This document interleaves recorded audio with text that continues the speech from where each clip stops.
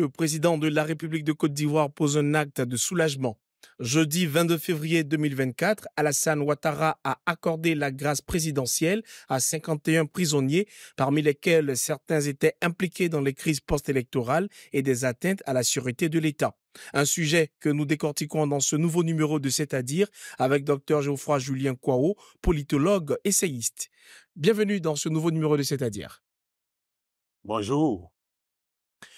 Alors, docteur, à quoi répond cette grâce présidentielle accordée aux 51 prisonniers par le chef de l'État? Tout ceci participe euh, de la volonté du président de la République de créer une nouvelle atmosphère politique allant dans le sens euh, de l'apaisement. Et le président de la République euh, l'avait déjà annoncé lorsqu'il recevait les éléphants à la maison présidentielle le 13 février dernier. Mais tout ceci euh, s'inscrit également dans une euh, dynamique euh, entamée depuis 2018. Mmh. En effet, en 2018, le président de la République avait déjà pris une ordonnance portant amnistie d'un certain nombre de personnalités, et dont Simone Yves Gbagbo, les ministres Assoa Adou et Lida Kwasi, et évidemment en 2022, il a poursuivi euh, son action en graciant euh, M. Euh, Laurent Gbagbo et un certain nombre de cadres militaires, dont M. Vagba Vossigno mmh. et M. Abei Noël. Et aujourd'hui, en 2024, il est donc dans cette dynamique de, décrispation mmh. de la vie politique nationale. Alors, il y a, quelque chose qui surprend ou pas selon, selon où on se place. Il y a, des noms qui attirent notre attention. il s'agit euh, de l'ancienne ministre de la Communication Afousiata Bamba Lamine et secondo le nom de Suleiman Kamaraté dit Soul to Soul. Je rappelle qu'ils sont tous deux euh, proches de l'ancien président de l'Assemblée nationale euh, Soro Guillaume.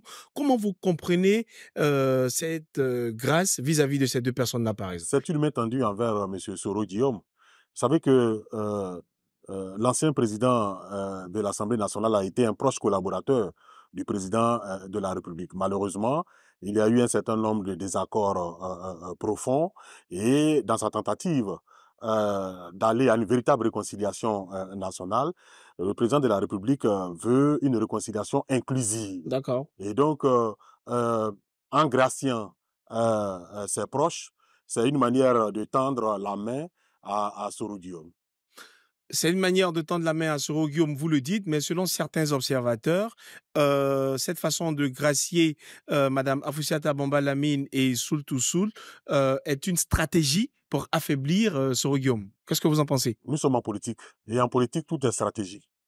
Hein, tout dépend euh, d'où on se, on se place et puis euh, l'objectif qu'on veut atteindre. Et je pense qu'on ne peut pas exclure euh, la dynamique euh, euh, stratégique dans cette analyse, mais la volonté affichée par le président de la République est assez claire, c'est la décrispation de la vie politique et il la veut totalement inclusive.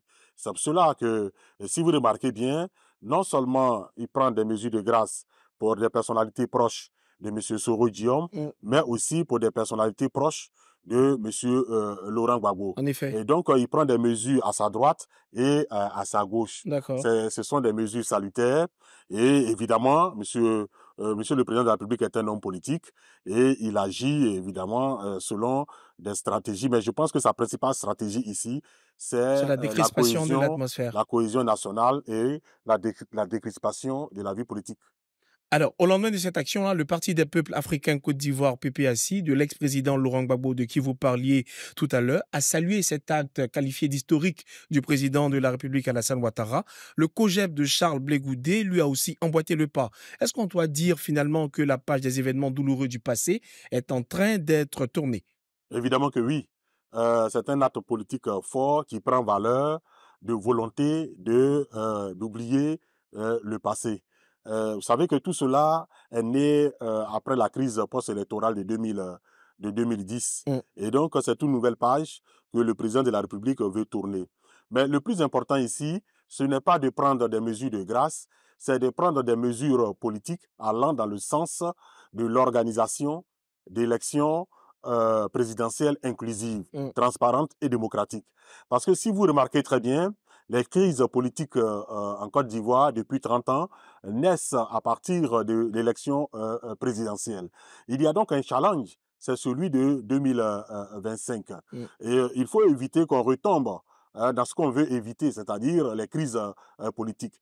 Autrement dit, dès maintenant, il faut prendre un certain nombre de mesures, de décisions allant dans le sens de la redéfinition du cadre juridique, du cadre institutionnel et du cadre opérationnel des élections. Pour faire simple, je pense que le moment opportun d'organiser les états généraux des élections en Côte d'Ivoire. Même si le PPACI est en train de saluer cet acte-là du président de la République Alassane Ouattara, dans son communiqué signé de Maître Abiba Touré, porte-parole du président Laurent Gbagbo, il est écrit, et je cite, La réconciliation nationale ne peut être une réalité sans la participation inclusive de, chacun. Je rappelle que vous en parliez tout à l'heure. Est-ce que cette participation inclusive-là dont parle le parti de Laurent Gbagbo euh, peut concerner Guillaume Soro, selon vous? Évidemment, tout le monde, y compris Laurent Gbagbo lui-même. N'oubliez pas que euh, si des réformes importantes ne sont pas faites, si des mesures, par exemple, d'amnistie ne sont pas euh, prises, M. Laurent Gbagbo, M. Charles Blé Goudé et M. Soro Guillaume seront écartés de la course euh, présidentielle en 2025. 25. Et ce qui n'est pas fait pour renforcer hein, la cohésion sociale et surtout l'harmonie politique en, en Côte d'Ivoire. Vous l'avez dit, hein, le président de la République est dans une démarche de paix et c'est à saluer. Mais réellement, est-ce que vous pensez que cette grâce présidentielle est assez suffisante pour la réconciliation nationale et la paix dans, en Côte Non, elle n'est pas suffisante, mais elle est importante. Elle n'est pas suffisante, mais elle est importante. Elle est- elle- oui, elle n'est pas suffisante, mais elle est importante. Et ça marque la volonté du président de la République d'aller à euh, la décrispation, à l'apaisement. Et regardez, comme je vous le disais tout à l'heure, il est dans une dynamique politique. Depuis 2000, euh, 2018, il pose des actes assez, forts. Et aujourd'hui, on n'a plus, euh, à part euh, quelques personnalités, euh, on n'a pas de, prisonniers politiques dans, dans, en Côte d'Ivoire. On peut parler d'un certain nombre de deux ou trois personnes de façon exceptionnelle, mais il a fait un effort salutaire. Et je pense que c'est ce qu'il faut, il faut retenir. Et, les opposants doivent aussi comprendre que à leur tour, ils doivent faire profil bas et aider le président de la République à aller dans ce sens. Ce qui n'exclut pas le jeu politique, le jeu des oppositions, le jeu des oppositions d'idées. Parce que, euh, in fine, euh, euh, l'objectif final, c'est l'élection présidentielle de, 2000, de 2025. Et pour y arriver, je pense que la mesure la plus salutaire que pourrait prendre le président de la République, c'est euh, initier une loi d'amnistie hein, allant dans le sens de euh, euh, l'amnistie profitable à, aux grands ténors de la vie politique ivoirienne, tels que M. Laurent Gbagbo, M. Charles Blé Goudé et M. À côté de cet ténor-là de qui vous parliez tout à l'heure, il y a encore des concitoyens contraints de demeurer en exil en raison de leurs opinions ou activités politiques. Justement, à part l'amnistie, est-ce que c'est l'amnistie dont vous parliez qui doit être la mesure appropriée à prendre pour leur permettre de mettre fin à leur exil ou en toute sécurité? Non, je ne le pense pas. En ce sens que euh, vous avez vu que depuis la crise post-électorale 2011, chaque année, il y a des exilés qui, qui rentrent. Mm. Je pense qu'on peut passer par euh, des accords euh, politiques pour régler ce problème qui est purement et simplement euh, politique. D'accord. C'est la fin de notre émission. On attend votre dernier mot à l'endroit non seulement de cet acte euh, posé par le chef de l'État, mais à l'endroit de tous les Ivoiriens également. Euh, je pense que le président de la République euh, est dans une très bonne dynamique que nous devons tous euh, saluer et surtout l'encourager à euh, permettre une bonne organisation des élections de 2025.